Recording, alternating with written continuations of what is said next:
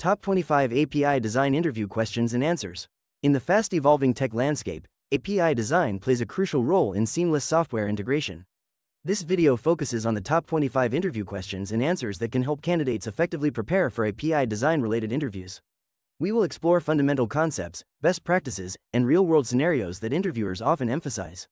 Whether you're a beginner or an experienced developer, this resource aims to enhance your understanding and improve your interview performance. 1. What is an API and what are its main purposes? An API, or Application Programming Interface, is a set of rules and protocols that allows different software applications to communicate with each other. Its main purposes include enabling integration between systems, allowing for the exchange of data, and providing standardized ways for developers to access the functionality of a service or application. APIs facilitate the development of applications by abstracting the underlying complexity, allowing developers to focus on building features rather than handling low level interactions. They are essential for creating scalable and maintainable software architectures. 2. How do you approach designing an API from scratch? Designing an API from scratch begins with understanding the requirements and use cases. Engage with stakeholders to gather insights about functionality and data needs. Create a clear specification that outlines endpoints, data models, and response formats. It's essential to choose between REST, GraphQL, or other architectures based on the project requirements. Then, focus on versioning strategies and authentication methods early in the design process. Prototyping with tools like Swagger can help visualize the API, enabling feedback and adjustments before development begins.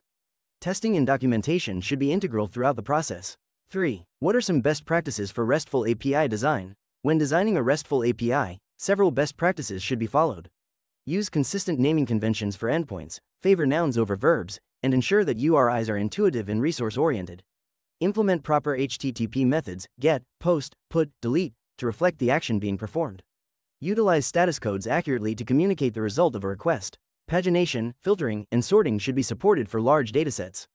Additionally, provide comprehensive documentation for developers and ensure security measures, such as authentication and rate limiting, are in place. 4. How would you handle versioning in an API? Handling versioning in an API is crucial for maintaining compatibility as the API evolves. One common approach is to include the version number in the URL, such as v1 resource. This method makes it clear which version clients are using. Alternatively, versioning can be handled through request headers, allowing more flexibility without altering the URL structure. It's important to deprecate older versions gracefully, providing clients with ample notice before removing support. Documentation should clearly outline changes between versions, ensuring users understand the impact of updates on their applications. 5. Explain the concept of idempotency in REST, APIs and how it's implemented. Idempotency refers to the property of certain HTTP methods where multiple identical requests yield the same result as a single request. In REST APIs, this is particularly important for ensuring that repeated requests do not alter the state of the resource beyond the initial application. For instance, the HTTP put method is idempotent. Sending the same put request multiple times will not create duplicate resources or change the result after the first request. To implement ID idempotency, APIs should ensure that operations can be repeated without side effects, such as using unique identifiers for requests or returning consistent responses. This helps clients safely retry requests, improving reliability and user experience. 6. What are the main differences between put and patch requests in REST APIs? The main difference between PUT and patch requests lies in their functionality and intent. Put is used to update a resource entirely by replacing the current representation with the provided data. If a field is omitted in the request, it will be set to null or removed. In contrast, patch is designed for partial updates, allowing clients to send only the fields they wish to modify. This makes patch more efficient for scenarios where only a few attributes need to change, as it reduces payload size and processing time. Understanding these differences is essential for effective API design. 7. How do you handle authentication and authorization in API design? Handling authentication and authorization in API design requires a strategic approach. Start with selecting an authentication method such as OAuth 2.0, API keys, or JWT, JSON web tokens. For OAuth 2.0, ensure you implement the authorization code flow for secure access. Utilize scopes to define access levels for different users. For authorization, enforce role-based access control, RBAC, to restrict resources based on user roles. Always validate tokens on each request to secure endpoints. Implement HTTPS to protect data in transit and regularly review permissions to maintain security compliance. 8. What strategies would you use to design a scalable API that can handle increased traffic?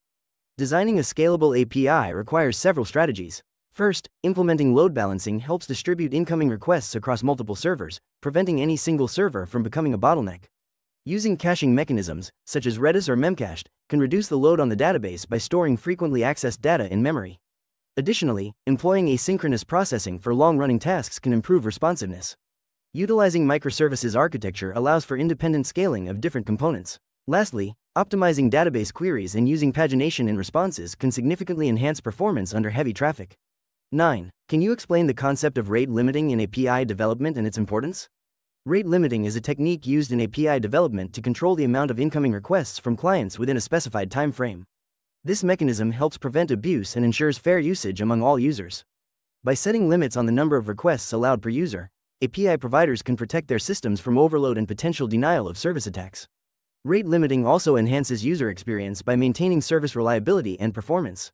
Common strategies include fixed window, sliding window, and token bucket algorithms, allowing developers to choose the best fit for their application needs. 10. How do you design APIs to be easily consumable by clients? Designing APIs for easy consumption involves several key strategies. First, use clear and consistent naming conventions for endpoints, making them intuitive and self explanatory. Second, provide comprehensive documentation that includes examples, use cases, and error codes. Third, offer SDKs or client libraries in popular programming languages to simplify integration.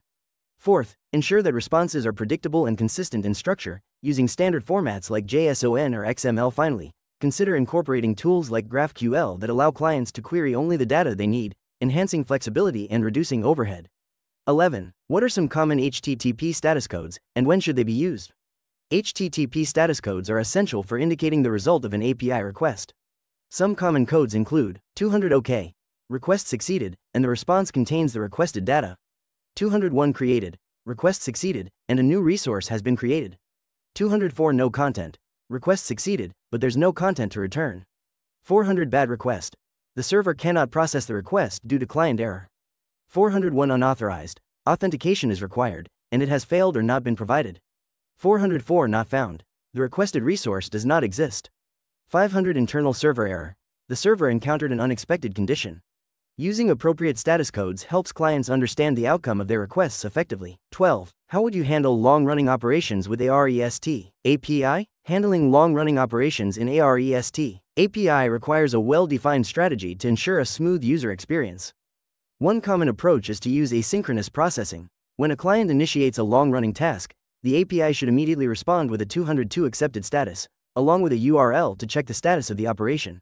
The server can then process the request in the background.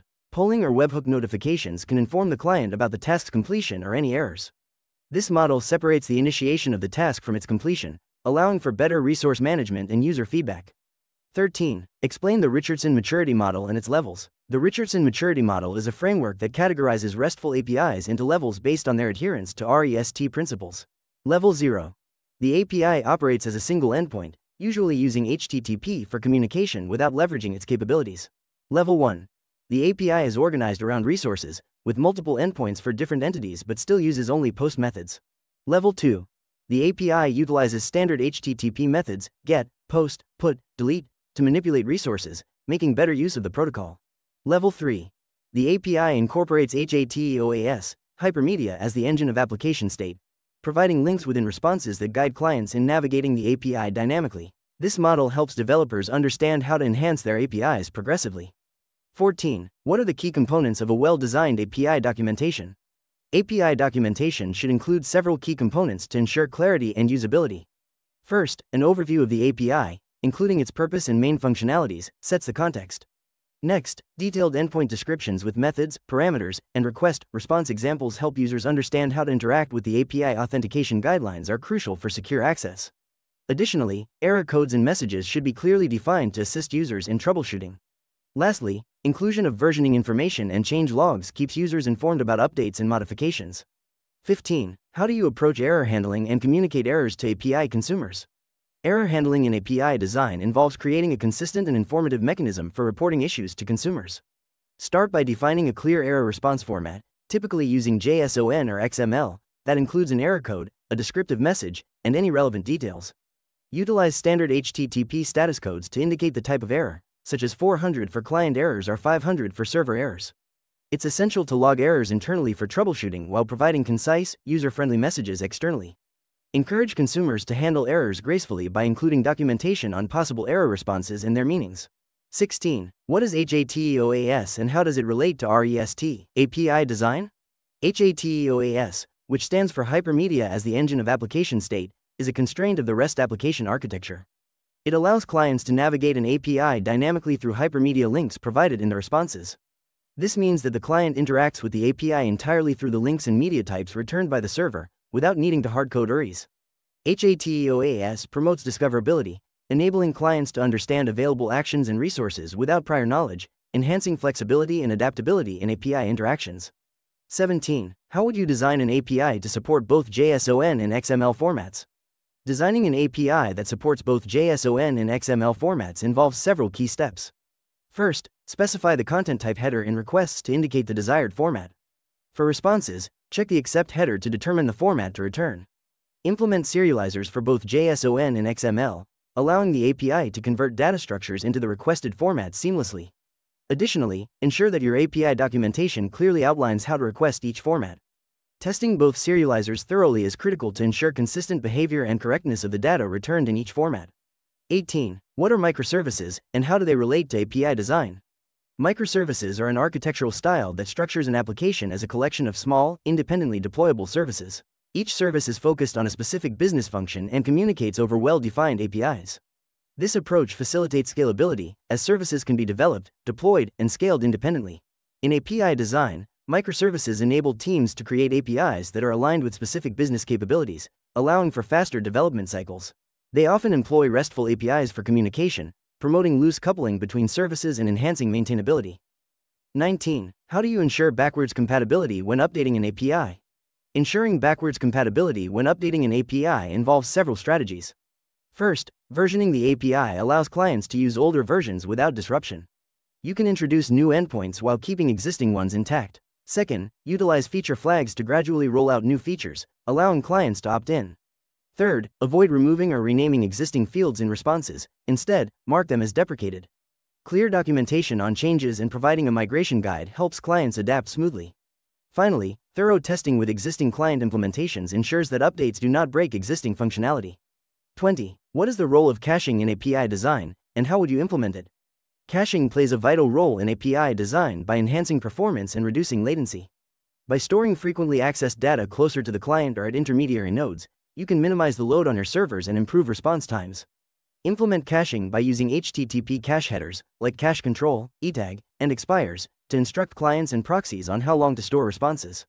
Additionally, consider using a caching layer, such as Redis or Memcached, to store data temporarily and handle cache invalidation effectively to ensure clients receive fresh data when necessary. 21. How do you handle pagination in API responses? Pagination in API responses is crucial for managing large datasets efficiently. A common approach is to use query parameters like page and limit to specify the current page and the number of items per page. Alternatively, cursor based pagination can be employed, where clients receive a token pointing to the next set of results. This method is more efficient for large datasets as it avoids skipping records. Always include metadata in responses, such as total item count and links to the next and previous pages, ensuring clients can navigate through the dataset easily. 22. What are the pros and cons of using GraphQL versus REST for API design? GraphQL offers flexibility, allowing clients to request exactly the data they need, reducing overfetching and underfetching issues common in REST. It supports complex queries and provides a single endpoint for all interactions, simplifying integration. However, it can introduce complexity in server implementation and requires careful management of query performance. REST, on the other hand, is simpler and more widely understood, with established patterns and practices. It may require multiple endpoints for different resources, leading to potential inefficiencies in data retrieval. Each approach has its merits depending on specific use cases and application requirements. 23. How would you design an API to support real time updates or streaming data? To design an API for real time updates or streaming data, Consider using WebSockets or Server Sent Events, SSE, for bidirectional communication. These protocols enable persistent connections, allowing the server to push updates to clients instantly. Implementing a publish subscribe model can facilitate efficient data distribution, where clients subscribe to specific topics or channels.